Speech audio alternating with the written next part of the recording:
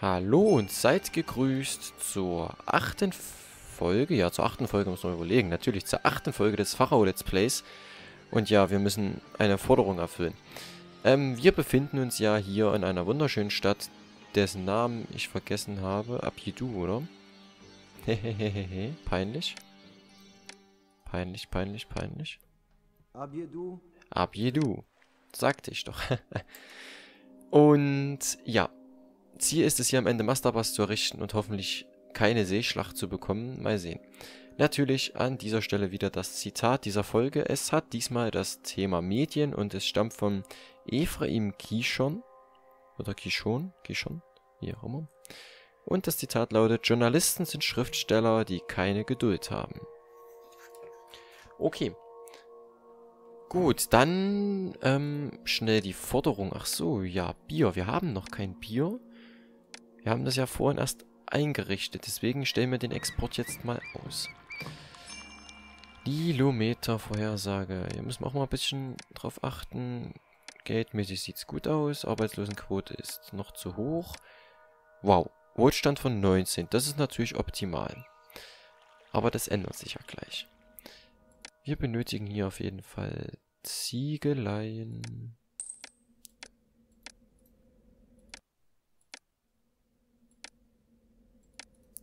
Und wir... Oh, was war das gerade? Arbeitskräfte benötigt? Ach ja, 15, okay. Ähm, eins für Ton, eins für Stroh und Ziege, die können sich hier hinten aufteilen. Ja, eigentlich könnte man jetzt ja sagen... Ja, wir importieren jetzt keine... Ich weiß es nicht, von jedem... Ja, von jedem 800 sollten da eigentlich reichen, oder? Wir haben drei Ziegeleien, ja, ich denke mal, das passt schon. Gut. In der letzten Folge wollte ich nicht so richtig ran, aber jetzt denke ich mal, jetzt ist es soweit, mal den Artikel 13 anzusprechen. Ein sehr beliebtes Thema zurzeit. Beliebt in Anführungszeichen bitte, ja. Ich habe natürlich zwischen den Aufnahmen der letzten Folge und dieser Folge nur schnell nochmal auf Neu aufnehmen gedrückt und sonst nichts gemacht. Natürlich ein Zitat rausgesucht, gesucht, gesucht. Aber das war's auch schon. Das mit dem Bier, das schaffen wir schon. Also ich habe mich natürlich inhaltlich nicht nochmal exakt informiert. Aber ich denke schon, ich kann meinen Standpunkt erläutern, erörtern, wie auch immer. Aber zuerst wollte ich noch sagen, dass dieses Video am 20. oder? Der 20. Moment. Kurzer Blick auf mein Mobiltelefon. Ja. Am 20. Februar, dem Mittwoch, aufgenommen wird. Also nur um das mal einzuordnen. Weil das Video wird am... Okay, das... Gut, der siebte Teil kommt ja heute noch raus. Also müsste ja eigentlich Freitag rauskommen, dieser Teil hier. Gut. Ja, ACG 13.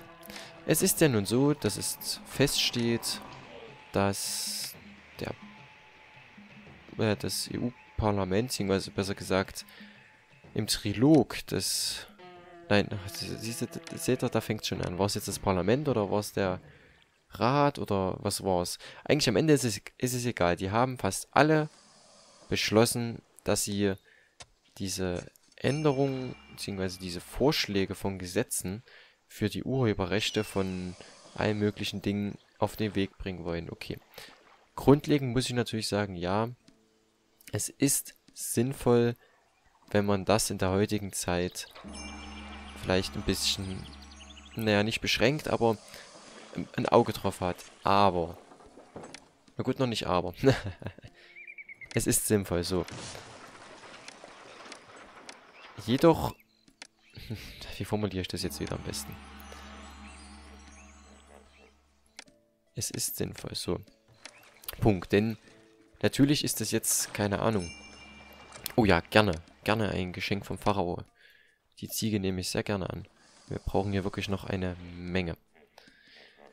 Ähm, es ist wirklich nicht leicht, als, keine Ahnung, als Musiker, der vielleicht, ich weiß nicht, bei YouTube 200 oder 2000 Abonnenten hat, äh, seine Musik zu schützen, natürlich kann man sagen, gut, hier, ja, ihr dürft das nicht und bliblablub, aber wenn dann jetzt irgendein großer YouTuber zum Beispiel oder auch ein großer DJ irgendwie die, die genau die Musik dann einbaut und kein Copyright gibt, dann fällt das vielleicht gar nicht auf. Der verdient sich mit dem Remix oder wie auch immer richtig viel Geld.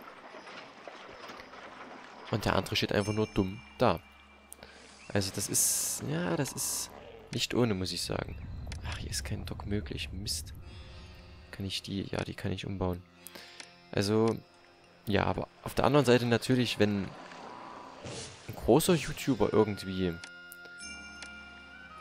äh, ja, wie soll ich das sagen? Schon wieder fest. Wenn ein großer YouTuber nun, äh, wenn man von einem großen YouTuber nun irgendetwas wegnimmt, ja, dann wird es gleich richtig gefährlich. Dann ist man ja, dann gibt's, da gibt's einen Strike auf YouTube und bei drei Strikes ist man raus, ja. Also, hm? Es ist halt so eine Sache, wie man das jetzt bewerten soll, davon mal abgesehen. Aber natürlich spielt diese Sache, die zwischen Daumen und Zeigefinger liegt, auch bekannt als Geld, denke ich mir auch eine sehr große Rolle. Denn ja, ich glaube schon, dass das alles ein bisschen auch von den Riesenkonzernen, sei es jetzt Filmindustrie oder was weiß ich, auch Musikindustrie, Fotoindustrie, keine Ahnung, ein bisschen mit gestützt wird natürlich. Denn so können die sagen, gut, es darf nur noch Content geliefert werden, der auch, ähm, also beziehungsweise, wenn Sachen von uns verwendet werden, oh, das ist nicht gut. Die Fische werden weniger, das ist sehr blöd.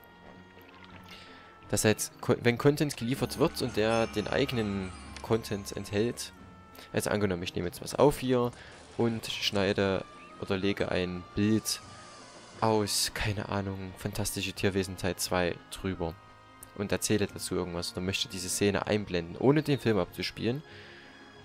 Aber selbst wenn ich, gut, wenn ich den Film abspiele, dann wäre es wirklich verboten, das verstehe ich, aber ein Ausschnitt, hm, ja, ist streitbar. Ist eigentlich auch verboten. Aber irgendwie können Leute ja auch Szenenanalysen machen, also von daher, die haben bestimmt die Genehmigung, das ist das andere. Oder ich lege jetzt irgendein Meme drüber. Selbst das ist ja eigentlich das Originalbild, aus, meistens aus Filmszenen, Serienszenen, wie auch immer. Aber halt verändert. Hm. Das ist auch so ein Streitfall. Und wie auch immer. Und um all dies zu regulieren, kursiert natürlich das vielleicht sogar Unwort des Jahres, das, das wäre natürlich interessant, Upload-Filter. Denn es ist jetzt schon so, natürlich bei YouTube, ich denke mal, wenn ihr selber einen Kanal habt, merkt ihr das, sobald ihr irgendwelche Musik nutzt, die euch nicht gehört und die auch ja, doch halbwegs populär ist, wird es natürlich entweder verwandt, beziehungsweise ihr könnt es nicht monetarisieren, oder es wird sofort gesperrt. Im schlimmsten Falle werdet ihr verwandt mit dem ersten oder wie vierten auch immer Strike. Ja. Ich muss sagen, bei meinem King of the Road Intro, beziehungsweise bei, dem, bei der ersten Folge, wo der Vorspann lief, ja, auch diese Musik wurde mir angekreidet. Ich könnte dieses Video nicht monetarisieren. Natürlich, es gehört irgendjemand, die, die Musik. Es hat ja irgendjemand komponiert, beziehungsweise, ja, wie auch immer. Das ist schon richtig so. Also, von daher, ich glaube, ich nehme nehm das eine Silo mal weg. Und ich importiere vielleicht mal noch... Wir machen noch plus, ja, ich importiere mal noch ein bisschen Nahrung, glaube ich. Aber was nehmen wir? Nehmen wir Kicher... Was ist denn am günstigsten? Wild eigentlich. Ich glaube sicher wild, oder? Moment, ich will nicht so weit vom Thema abkommen, aber das ist jetzt wirklich mal 34. Nö, Kicher... Ne, Quatsch, Käuferzahlen. Ne, dann auf jeden Fall Kichererbsen. Aber nicht so viele. Sagen wir mal 700, dann stellen wir hier Kichererbsen ein. So. Natürlich, das Dock ist zu weit weg dafür. Ich nehme hier oben den Hafen weg, es tut mir leid. Weil hier, das, das läuft alles auf das eine Dock hinaus. Das ist, Wir warten darauf, dass unser Schiff mit Fracht beliefert wird. Das ist nicht gut. Es gibt ja auch mehr Docks hier, also von daher. Ja. Kursiert natürlich dieses Wort, Unwort, Upload-Filter. Nun, es ist nun mal so, wie bereits gesagt, bei YouTube, man wird halt gesperrt oder kriegt Strafen, wie auch immer. Das ist richtig so. Und dieses Tool, um das zu entwickeln, das hat YouTube rund, ich glaube, 100 Millionen, habe ich mal in einem Video gehört. Ja, kann das sein? 100 Millionen US-Dollar gekostet, um Musik zu erkennen. Wir reden jetzt nur von Musik.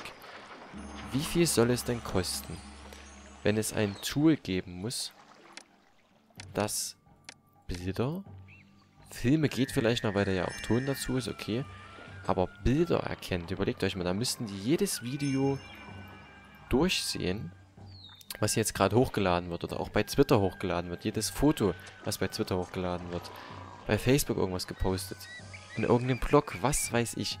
Jedes Foto, was da irgendwie nicht euch gehört.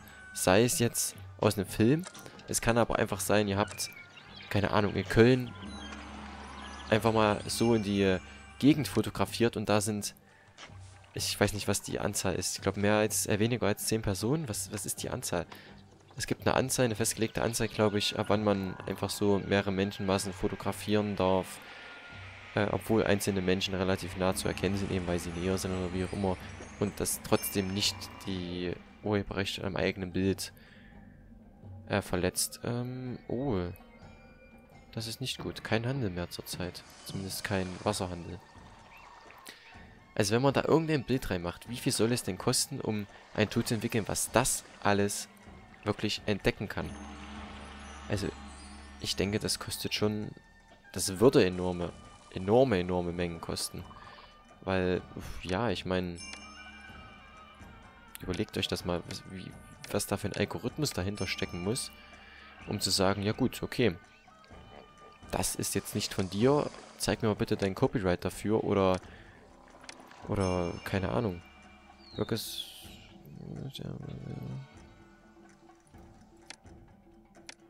Oh, 35. Die Löhne sind gestiegen, ne? Da.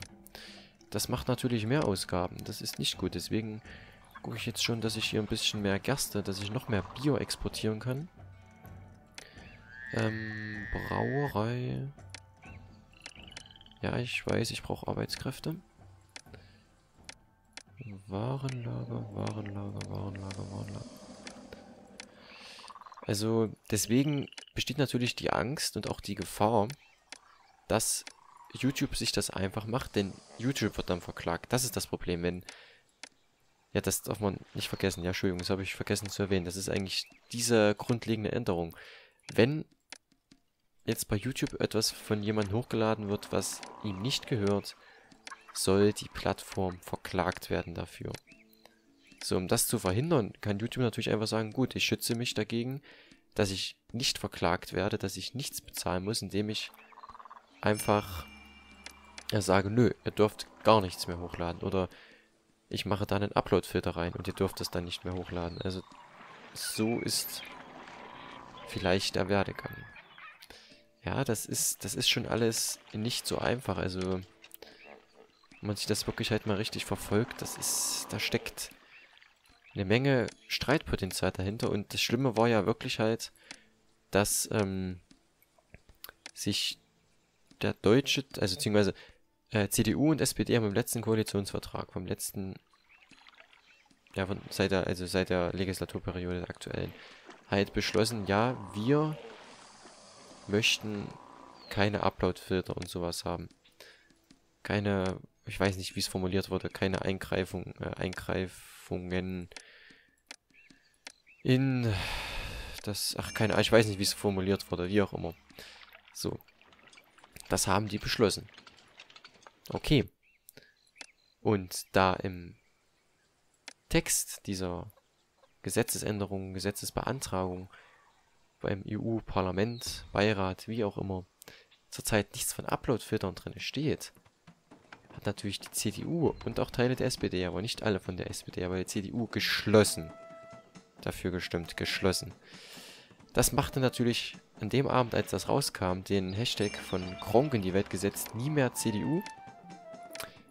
Dezent berühmt, um es mal so auszudrücken. Oh ja, wir können auf jeden Fall Bier exportieren. Dezent berühmt, also da... ja, das war schon... Ja, wurde wirklich berühmt, dieser Hashtag. 21, oh, oh, oh. Also, nun gut. Um das mal so zu sagen. Wo es am Ende hinführt, ich habe keine Ahnung. Ich hoffe wirklich... Ach so, es gibt wahrscheinlich am 23. März Streiks, beziehungsweise Proteste, wie auch immer. Ja, nicht, ja, kannst du so sagen. Die halt gegen den Artikel 13 logischerweise sind. Und der nette Herr Axel Voss heißt er doch, glaube ich, der so beliebt ist, hat doch dann gemeint, ja gut, dann vertagen wir die Entscheidung bezüglich dieses Artikel 13 und Artikel 11, das sind zwei Artikel, einfach mal nach vorn. Eben um nicht diese Proteste in Europa zu haben, weil das wird nicht bloß in Deutschland sein, nein, nein. Geplant sind wirklich sehr viele Länder, vor allem auch Osteuropa, das fand ich sehr interessant. Also auch dort drüben, ja. Äh, mal sehen, was da noch so draus wird. Ich bin gespannt, wirklich. Okay, wir haben zu viel Papyrus. viel zu viel Papyrus. Wir nehmen hier mal einen weg. Und hier drüben brauchen wir Arbeiterlager, fällt mir gerade so ein. Oh. Ja, mehr Leinen, das ist gut. Aber ich glaube, ich bräuchte eigentlich mehr Flachs. Na, mal sehen, wenn das hier wieder da ist, dann bauen wir das mal auf Flachs um. Also so ist der Stand und mal sehen, mal sehen, was noch so passiert. Ich hoffe wirklich, dass auch diese Online-Petition, die ja schon seit längerer Zeit kursiert ist, und ich, hab, ich weiß gar nicht, wann ich da unterschrieben habe, ich glaube, das, also es war auf jeden Fall schon im letzten Jahr, ähm, dass die vielleicht noch mehr Zuspruch findet. Das sind zurzeit 6,7, äh, 7, Mensch, 4,7 Millionen waren es, glaube ich, die da unterschrieben haben. Natürlich, ach Quatsch, doch keine Töpfereien. Ich wollte Weber reinbauen. Natürlich, wie viele davon doppelt sind, ja, hm. Aber selbst wenn es 4 Millionen sind, sage ich mal, trotzdem, das ist eine Menge, die kann man eigentlich einfach nicht ignorieren. Man sollte vielleicht mal auf die... Ja, nicht hören unbedingt, aber ich meine, man darf sie nicht einfach so sagen, wir, hm, gut, okay, wir machen das jetzt trotzdem so, wie wir wollen. Ja, das könnte natürlich Auswirkungen auf die EU-Parlamentswahl, beziehungsweise auf die Europawahl am 26. Mai haben.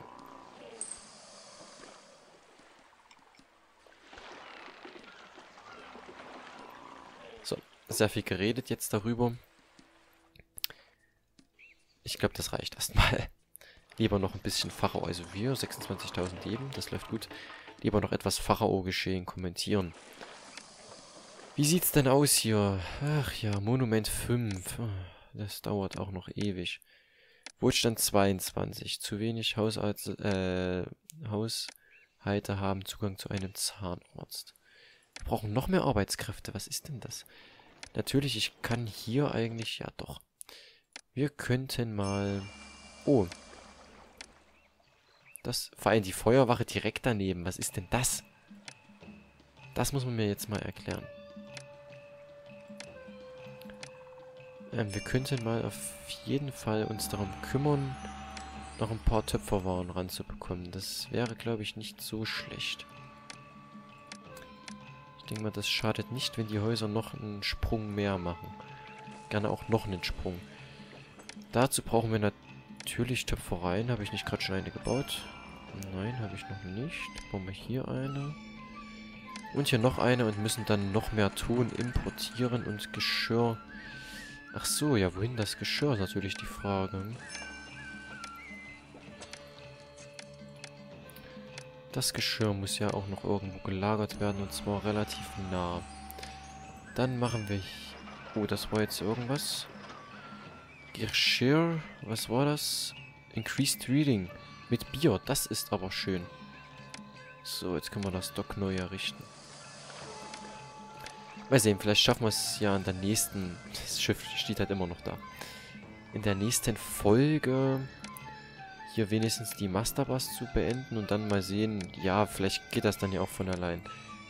Okay, wir brauchen gar nicht mehr so viel Wohlstand. Einer nur. Ich habe das eigentlich relativ schwer in meiner Erinnerung gehabt. Dass das nicht leicht war, den Wohlstand. Wir brauchen unbedingt Arbeitskräfte.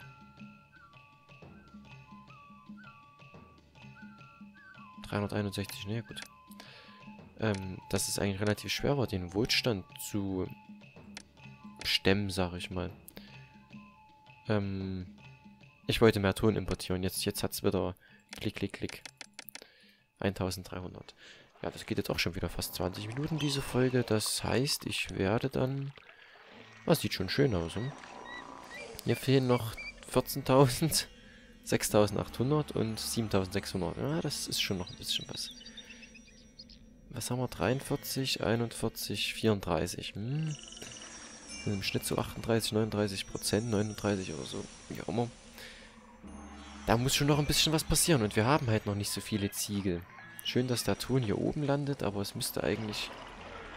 Müssten wir eins nur für Ziegel machen. Habe ich das nicht bedacht bis jetzt? Ist egal. Ja, Ziegel nehmen wir gerne an. 2200, die bringen uns auf jeden Fall weiter. So, Flut beendet. Jetzt sehen wir schon die ersten zwei neuen Kar Karren, die die Ziegel stemmen zur Masterbar. Da ist der nächste. Na los, es sind immer, immer 400, glaube ich, oder? Während die Felder unter Wasser stehen, arbeite ich für den Ruhm. Während, während, die, Felder unter, während die Felder unter Wasser stehen, arbeite ich für den Ruhm Ägyptens. Ah, sehr schön. Wir bräuchten jetzt Arzt. Wir bräuchten so oder so eine Arztpraxis. Wir bräuchten jetzt Arzt. Das ist ein sehr gut formulierter Satz gewesen. Ach ja, wir können hier noch ein bisschen was, aber hm, natürlich aufpassen. Nochmal auf Osiris aufpassen. Ja, die hat bis jetzt kein einziges, oder der hat bis jetzt kein einziges Fest gehabt. Der oder die Osiris? Achtung, ein kleiner Hinweis. Es hat mir an dieser Stelle die Aufnahme beendet, da das nette Aufnahmeprogramm meinte, yo, es ist nicht genug Speicherplatz verfügbar. Stimmt eigentlich nicht, da ich genug Speicherplatz zur Verfügung habe, es aber auf der einen Partition gespeichert hat, die relativ voll ist und dann meinte es, nö, irgendwie speichere, jetzt mal da, speichere ich jetzt mal da. Das heißt, es fehlen jetzt, glaube ich, ein oder zwei Minuten des Pharao Let's Plays, aber das ist nicht schlimm, es ist nicht sehr viel passiert, wir wurden nicht angegriffen. Ob jetzt vielleicht mal zwei Minuten fehlen oder nicht, ich glaube, das ist nicht schlimm. Also ich empfinde es nicht als schlimm. Wenn es doch schlimm für euch ist, dann sagt das, schreibt es in die Kommentare, dann nehme ich das nochmal komplett von vorne auf. Wäre auch kein Problem, aber ich glaube, ob da jetzt mal zwei Minuten fehlen oder nicht, ist auch nicht so wild, wenn es überhaupt zwei Minuten sind. Ja, das war der Nachtrag.